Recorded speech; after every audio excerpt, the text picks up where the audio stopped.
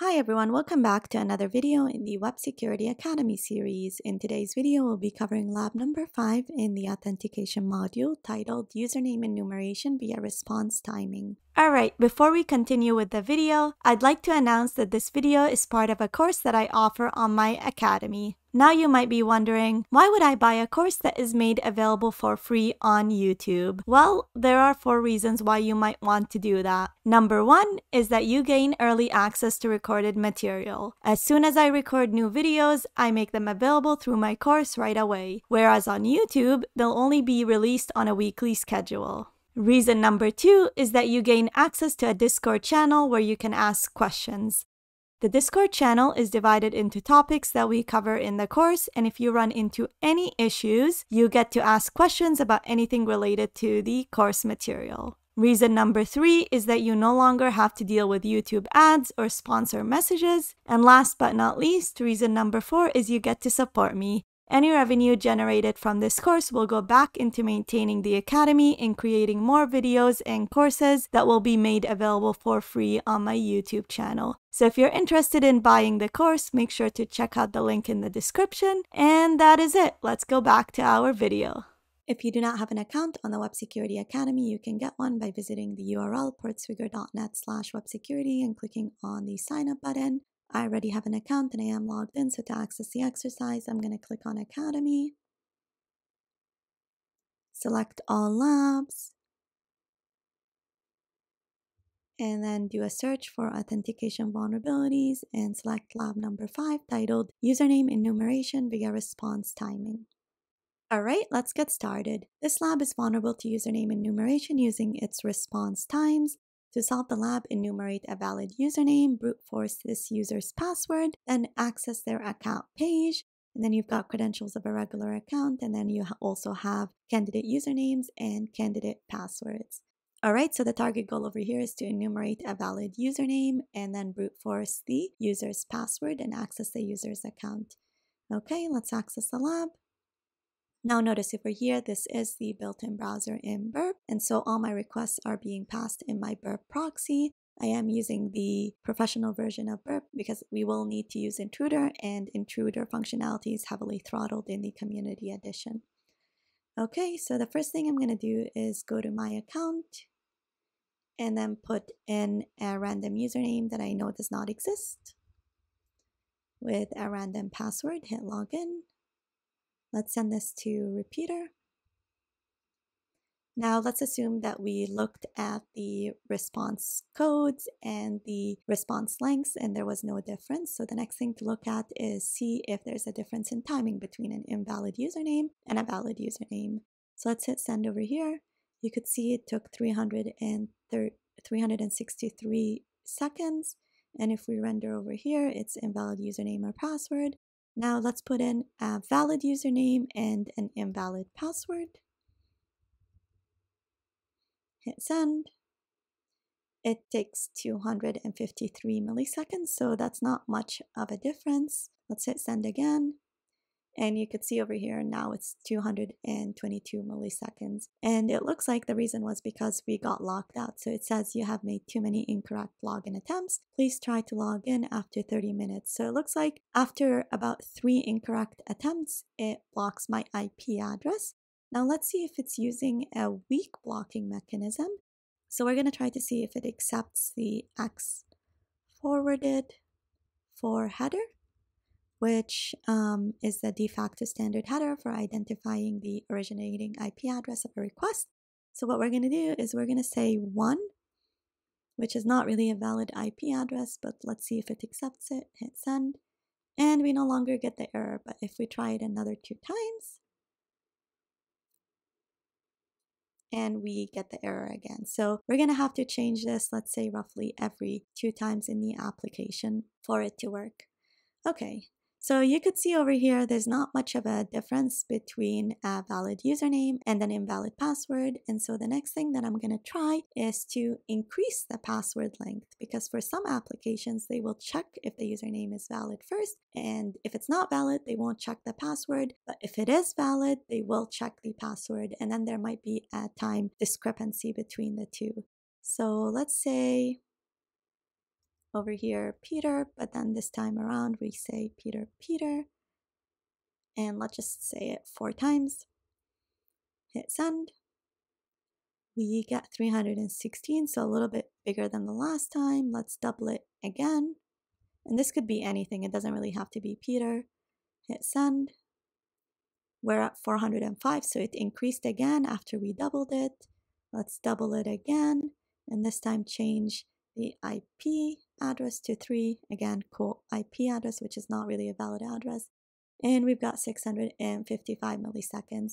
So every time I increase the password length, it looks like it's doing more computation in the backend, and so it's taking longer for the application to respond. Now let's put an invalid username that I know for sure doesn't exist in the system. So I'm just going to put a bunch of uh, random numbers, hit send. You can see over here it says 239 seconds versus a valid username, which was taking over 600 milliseconds. And the reason is because when it's an invalid username, it's not actually checking the password because it sees that it's an invalid username and so there's no use to check the password. But when it is a valid username, it's checking the password. And so this issue in the application allows us to enumerate the list of valid usernames in the application. So let's send this to repeater. And I made a mistake. I actually want to send it to intruder. And intruder, let's clear everything and change this to the username that we know exists. And then highlight it and click add. And then in the payloads list, we want our candidate username. So if we go back over here, let's copy all of this.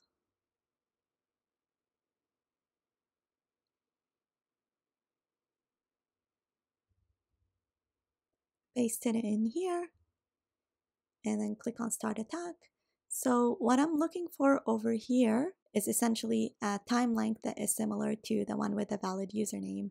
However, I'm realizing I made a mistake because I never changed the X forwarded for header. And so you should see over here in the response, it should say that I've made too many requests. So we need to take care of that as well. So let's discard and go to, to positions and add this one as well.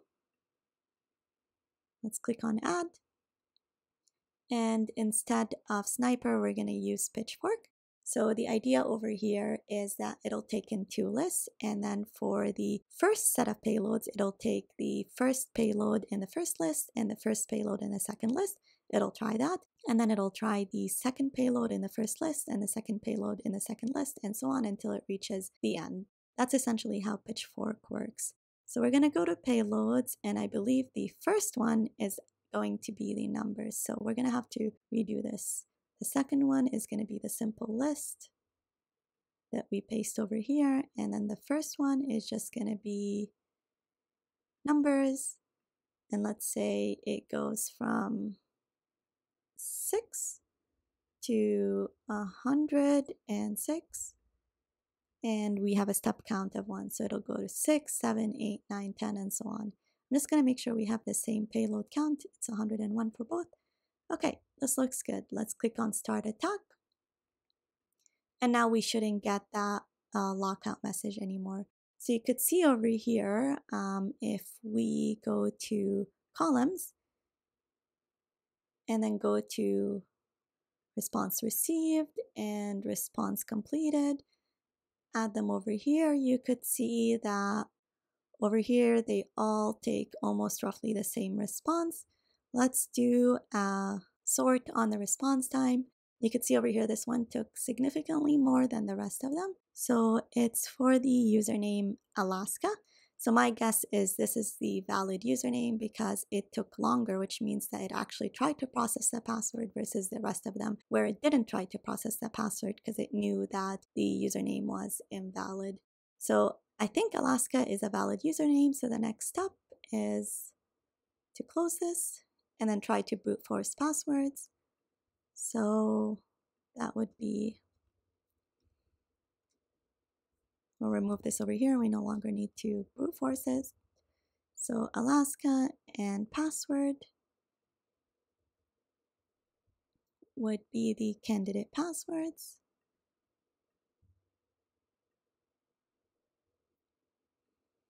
Let's copy that.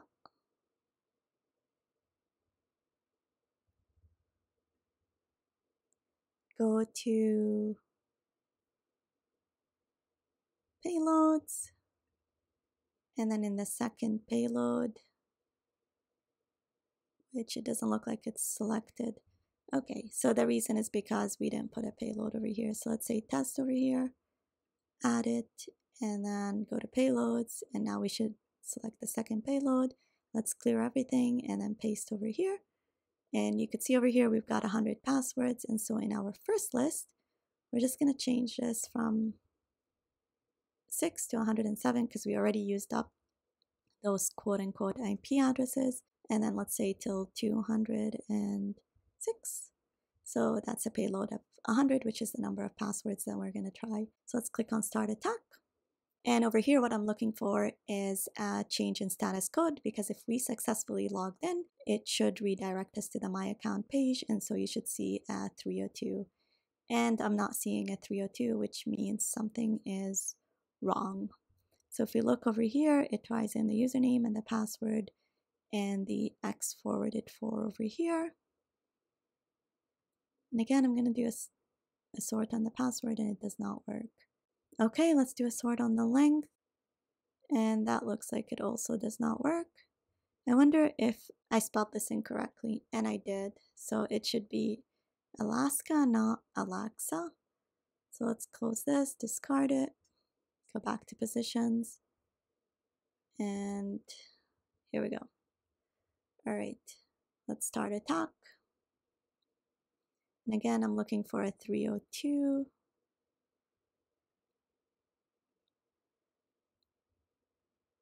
And here we go. So we get a 302 on Nicole. So the username is Alaska and the password is Nicole. Now it should have automatically said that we solved the lab because if you look at the response over here, it redirects us to the My Accounts page. So let's go back to our exercise and just log in using the credentials we just found. So that was Nicole. Hit login and it tells me I've made too many incorrect attempts because it's still blocking my IP address for 30 minutes. So let's send this to repeater. And in repeater over here, let's just change this to 600.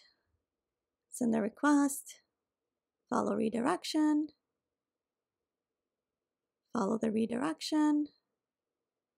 And if we reload over here, say test and then test, go to proxy, intercept, intercept is on, click login. Um, and then I'm just going to say Alaska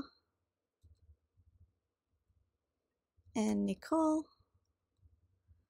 And I'm going to change it right over here. So let's add the X forwarded for header.